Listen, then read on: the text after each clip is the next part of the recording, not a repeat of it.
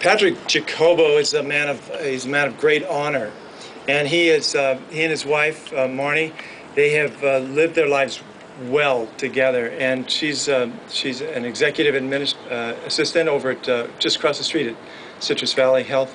But Patrick is he's lived with a code of honor that is it's strong on the inside, but he he and, and Marnie know how to love people well. Patrick has been a, a city councilman, and he's been a, uh, a, a business trainer, and he, he worked with uh, men who didn't um, didn't know how to flourish in their business, and he trained them to um, provide for their families well.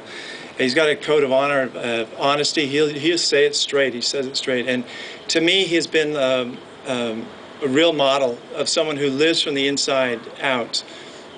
And uh, there's a lot of freedom when you can do that, when you can live from your own set of values. Patrick Jacobo's been a, a leader in the community, city, uh, Apple Valley uh, city councilman, and there's a possibility he might get back to it. He's, uh, he's been an, a professional umpire, and that takes a lot of heat. so he has known how to help hold up under heat. But uh, I'll keep it short to, to say this is a man of honor, and I love what they do with their marriage. They keep their romance alive. This is a man who knows how to pursue his wife, and she feels loved because of it. So they've been longtime friends, and I honor uh, Patrick Jacobo. Pat, would you come up?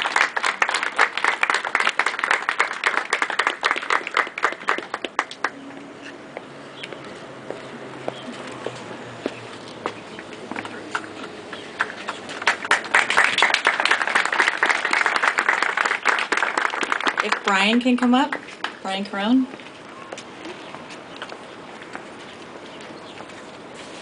I'm going to embarrass you, Brian, but I think I met you when you were like 10 or 11. 14. Um, came out of a very rough circumstance, but um, has come to be a, a real civil servant. So we want to honor him, and I am going to just read. So thank you. Um, he signed up for the Navy in March of 2011. He was scheduled to leave at the end of September. Two weeks prior to his departure, 9 11 happened.